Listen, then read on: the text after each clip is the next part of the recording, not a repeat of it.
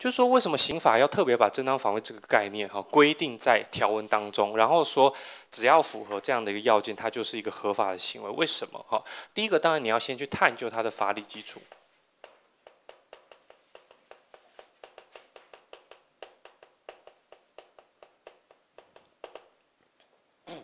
它的法理基础，哈，基本上哈就是所谓的法确证原则。好，单纯看这个名词，你根本不知道我在讲什么，哈。那什么叫做法确证原则？哈，它的意思就是说，好，个人为了去保护自己或者是第三人的权利，好，个人为了去保护自己或者是第三人的权利，他在特定的情况之下。国家容许他以私力救济的方式来去达成捍卫法益的举动，这个就叫做法确证。所以在背后的概念就是什么？背后的概念就是个人，好，他为了去捍卫好自己或者是第三人好的权利。好，然后呢？好，他在国家好这个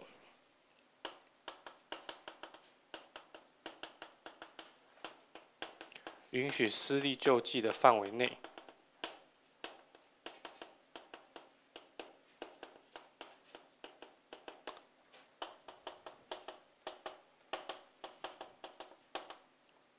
对于法益的侵害呢，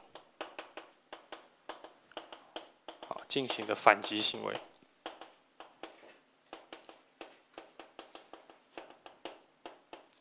好，那这个反击行为其实它就是一个所谓的护法行为啊。好，就是他为了捍会保护法秩序，好保护这个整体的法秩序，基于这样的一个宗旨，他来去好从事这样的一个行为。好，所以。基本上实行正当防卫之人，他都是站在法的这一边，好，他都是站在法的这一边。所以在这样的一个情况下，哈，法确证原则在学说上，哈，又会发展出哈所谓的法确证利益。这里的法确证利益的意思就是。个人好，他在捍卫自己或第三人的权利，他本身是站在一个好保护好刑法的这样的一个角度去思考的时候，那这个法就站在他这一方。所以在正当防卫的概念之下，好，在正当防卫的概念之下，既然这个行为人是站在法的这一方，呃，法的这一方，然后刑法好。在特定的情况下，就容许他这个行为，好，不会构成刑法上的犯罪。好，那为什么要讲这个呢？这个要推出来一个结论，就是既然正当防卫他是站在法的这一方，所以他为了捍卫自己或第三人的权利，为什么他捍卫自己或第三人的权利？因为自己或第三人的权利遭受到特定行为人的攻击，所以他才要捍卫。好，他才要捍卫，他不会无缘无故没有事就是去。主动积极的捍卫自己的权利，不需要好，一定是遭受到一定的攻击。所以，第一个从这样一个概念推导出来，第一个在正当防卫适用的前提，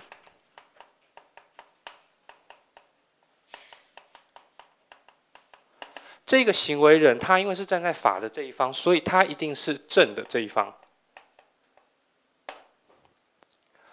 然后他捍卫自己。或第三人的权利的目的是为了什么？护法，因为有人来攻击，好，这个 要违反法秩序，所以他一定是一个什么？以正对于不正的行为进行反击。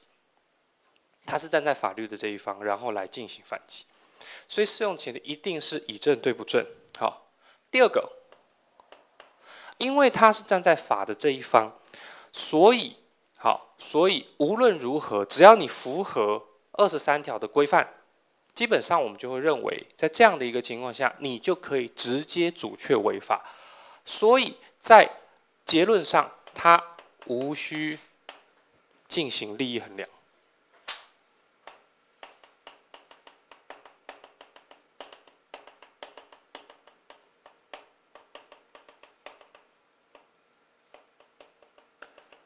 哎，那你就觉得很奇怪，哎，老师，你刚刚不是讲实质违法性的核心概念是利衡量吗？啊，为什么这边又讲无需利衡量？无需利衡量的原因是因为这个是一个自明之理，好不正之理。为什么？结论是无需利衡量，但是你要透过利衡量的角度来去思考，它也会得到这样的结论。为什么？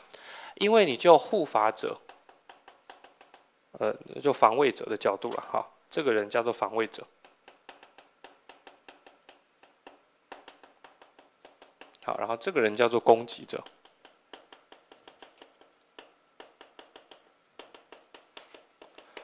防卫者基本上，他第一个他要防卫的是哪一些利益？就是自己或者是第三人的利益嘛。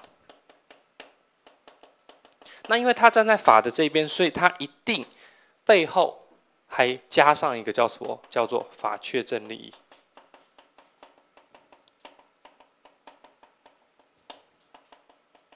好，那相对于来讲，攻击者为什么他要攻击？因为他可能也是要保护自己的利益之类的，哈，不一定，好，但是无论如何，它的内涵就只有什么自己的，或者是第三人的利益。所以你把这两坨利益，好，你把它放在天平上，一定是往哪里倾斜？一定是往防卫者这边倾斜。无论你今天要保护的自己或第三人利益是什么样的利益，无论如何，因为你都是站在法的这一方，你都有个法确认利益在背后为你撑腰，所以你根本就不需要利益衡量，因为本来利益衡量就会直接通过，本来就会直接通过，所以无需利益衡量的意思就是什么？没有，好像。紧急避难当中，这种什么横平性的审查，就是你不需要把你要保护的利益跟你牺牲的利益这两者放在法益未接的跷跷板上面，哦，来去掂量掂量，说，哎，到底牺牲的利益比较重，还是保护的利益比较重？不需要，因为保护的利益本来就会比较重，所以没有横平性好的审查，因为不需要。好，那在这样的一个情况下，接下来就会再继续推导出一些情况，就是，例如说，好，这个考试上有的时候会考，就是说，对于生命法益啊，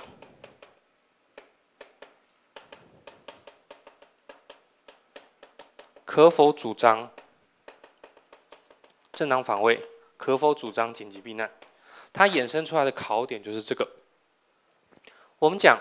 如果你在这一张图，你可以看得出来，只要你是保护自己或第三人的利益，因为你是站在法的这一方，所以你有法确证利益在后面为你撑腰，所以无论如何，你都可以主张正当防卫。换言之，你这边自己或第三人利益如果是生命法益的话，你为了保护自己的生命而去牺牲他人的生命。请问在这张图当中，是不是有可能成立的？是。虽然生命是无价的，好，生命是无价的，但问题是说，生命虽然是无价，可是在这张图当中，你防卫者无论如何都站在好法的这一方，你本身你在法益的天平上面，你就会往另外一方倾斜，好，就会往另外一方倾斜。所以，我们就是说，对生命法益可不可以主张正当防卫？是可以的。你可以为了什么？保护自己或第三人的生命，而在符合正当防卫的要件之下，例如说开枪去射杀好攻击者，然后导致他牺牲，这个是有可能可以主张正当防卫的。但是好，那个界限要拿捏清楚，因为很容易就变防卫过当。好，这个等一下我们会再讲哈。不过无论如何，在正当防卫的概念之下，是容许这样的一个情况存在的。好，是容许的。可是相对来说，紧急避难呢？哈，正当防卫是容许的。可是紧急避难可不可以？不行，因为紧急避难，等一下我们会讲，它适用的前提不是以正对不正，它法理基础根本就不是法确认原则，它的法理基础是所谓的社会的连带义务。好，等于说每一个人的自由可能有呃，你可以是无限大的。好，可是，在每一个人的自由在这个社会上，哈，当你的自由跟他人的自由碰撞在一起的时候。某程度上来说，自由跟自由之间一定会划定出一个界限，因为你的自由有可能就是啊别人的不利益，啊，所以在。